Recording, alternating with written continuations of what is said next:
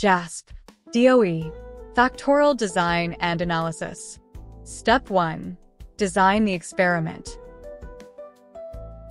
In Quality Control menu item, under DOE, choose Factorial Design.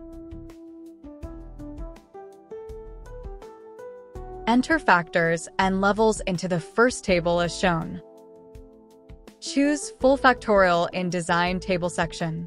Set replications to 2 and check Display Design under Blocks. Step 2. Conduct the experiment. Use the created design table to conduct experiment and put results to a new column called Yield. Step 3. Analyze the experiment results. Open the design table file you have created and filled the yield information. Go to Menu Item Quality Control, then DOE, then Analyze Design.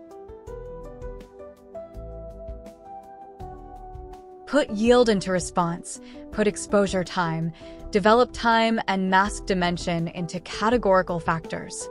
Draw the charts under plots area as needed.